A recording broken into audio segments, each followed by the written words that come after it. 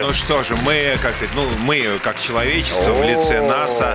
А, решили выстрелить по астероиду. Значит, НАСА, НАСА, на, наша НАСА. Э, наша человеческая, да. Не надо все-таки э, везде проводить границы. Знаете, что такое?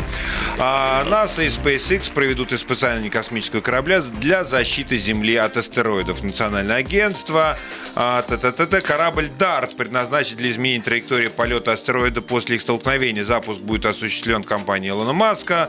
Так, значит, это он уже был, был осуществлен. Поздравляем. Вернуть уже ничего нельзя. Он будет какое-то время. Как будет все происходить? Лететь к какому-то ни, ни в чем не повинному астероиду и вот, врежется вот в него мы, со всей да, дури. Да-да-да, мы сейчас видим, э, вот, собственно, визуаль, визуализацию этого проекта. После отделения от ракеты-носителя Дарт развернет солнечные батареи, начнет сближение с двойным астероидом Дидимос Диморфос. Вот Зачем так. тебе вот это было все читать? Потому что если ты знаешь, как зовут астероида, ты можешь ты к нему можешь обратиться и сказать, и можешь даже Конечно. крикнуть ему. Значит, э, что э, мы должны прочесть между строк в этой новости, что, видимо, mm-hmm. все, видимо, все расчеты о безопасности оказались не такие уж точные, и опасность действительно существует. Нет, Она подожди. настолько велика, Нет, стоп, что вот нужно срочно вот... снаряжать миссию для вот того, так чтобы вот, так, э, так столкнуться. И нагнетает, так и нагнетает, так создается фейковая а информация. А если все было хорошо? Если Зачем? все было, когда будет плохо, у нас будет целая куча этих ракет, и мы всех, все разбомбим. А сейчас мы разбомбим ни в чем не повинный астероид. У нас на связи Виталий Юрьевич Егоров, популяризатор космонавтики, блогер, основатель сообщества «Открытый космос». Здравствуйте, Виталий Юрьевич. Здравствуйте. А, ну вот, э, смотрите, ну, не знаю, насколько можно вообще а, предсказать изме... да, да, легкие последствия изменения орбита астероида. И еще мне говорят, что вам надо включить микрофон, иначе мы вас не услышим. Значит, астероид будет недоволен. Да. Да, спасибо. Теперь я могу обратиться и к вам, и к астероиду. Да. А, до конца, ну, скажем, просчитывать траектории астероидов сейчас астрономы научились, ну, там, лет на 10-20 вперед.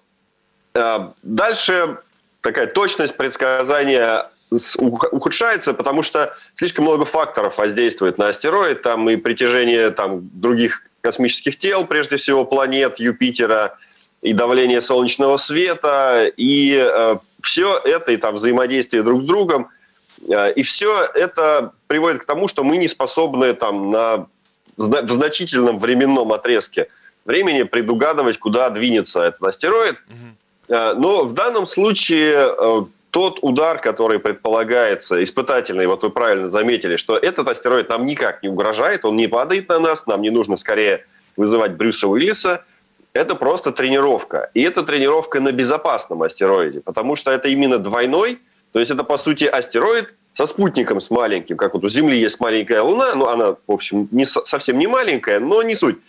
А у астероидов тоже бывают спутники, э, у этого астероида тоже есть спутник, и этот спутник не летает сам по себе, он гравитационно связан с большим астероидом, и э, ударяя по спутнику, мы не меняем траекторию большого – Соответственно, этот спутник изменит траекторию вращения вокруг большого астероида, но вместе они продолжат лететь тем же путем, ага. на который наш удар никак не повлияет.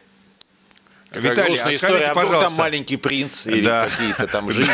Да, да, Лисичка. Не повезет ему. Ему не повезет. Или повезет, потому что весь вопрос, мы тут не знаем размеры. А, то есть, собственно, да, мы тут представляем что-то такое апокалиптическое, но на самом деле реально, если это каменюка там размером с километр, а, то давайте так, а тогда по сути, мы, нам, это будет гигантский прорыв, э, попасть в астероид, который где-то там летит. Это, конечно, все очень сложно и круто, но насколько мы реально можем повлиять повлиять, э, попав слона дробиной? А, это действительно будет масштаб там примерно сравнимый со слоном и дробиной, и изменение его скорости вращения вокруг другого астероида там будут действительно считанные миллиметры в секунду или даже доли миллиметров в секунду. Э, это э, нам хотя бы цель этого исследования, хотя бы заметить какой-то эффект, что вообще мы что-то изменили – и этот эффект будет наблюдать другой космический аппарат, который через несколько лет, европейский Гера, который прилетит туда и посмотрит на то, что получилось, и как э, повлияло наше воздействие на орбиту этого астероида. То есть в данном случае вообще То хотя бы увидеть... Померяет точно параметры орбиты по прошествии да. какого-то времени. Да? Скажите, пожалуйста, ну, э, давно уже ведутся разговоры о том, что нужно какое-то международное создать сообщество, объединение сил э, космических для того, чтобы разработать системы защиты, вот такие боевые от астероидов.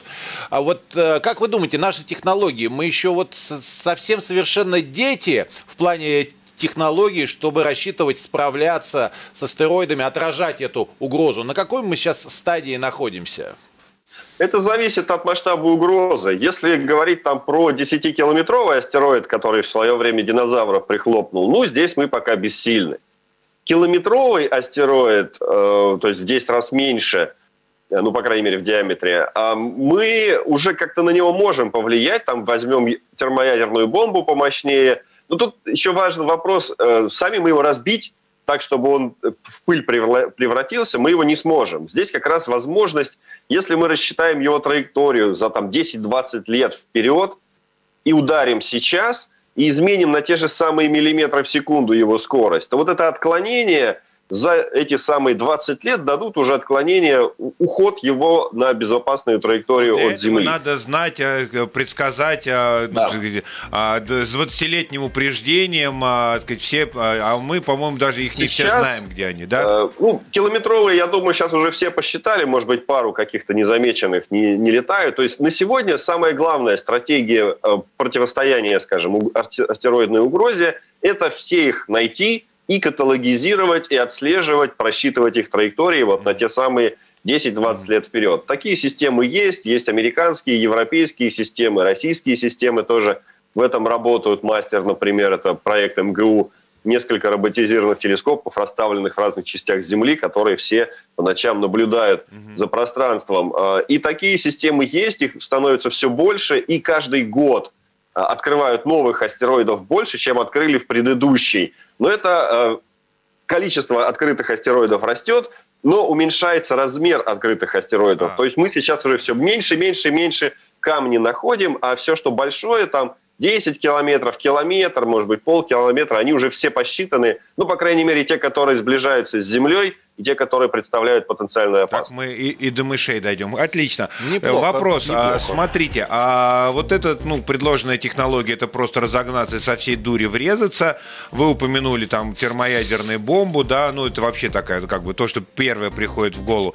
А какие еще, и существуют ли еще какие-нибудь альтернативные, хотя бы на уровне идей, а, варианты, так сказать, воздействовать на приближающиеся камни? Да, там есть несколько вариантов. Один тоже принципе, посильный, но в зависимости от масштаба просто астероида, можно поставить э, космический аппарат на поверхность, чтобы он э, двигателем дул в противоположную от э, поверхности сторону, то есть, по сути, вверх.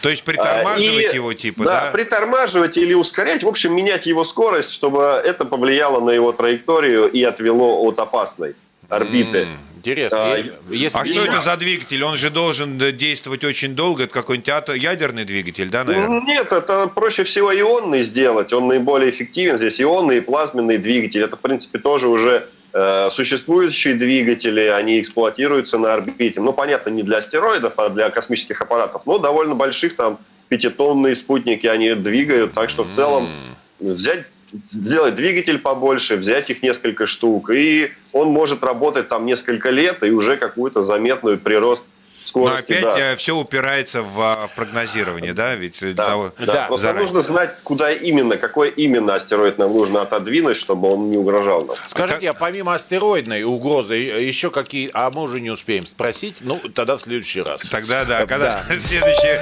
ракету запустим. Видите, спокойно, все по, небо под присмотром. Ой, это, вот это вот хорошо. с этого надо было начинать, Отлично. вы бы сэкономили 5 минут. Виталий Егоров, популяризатор космонавтики, успокоил нас.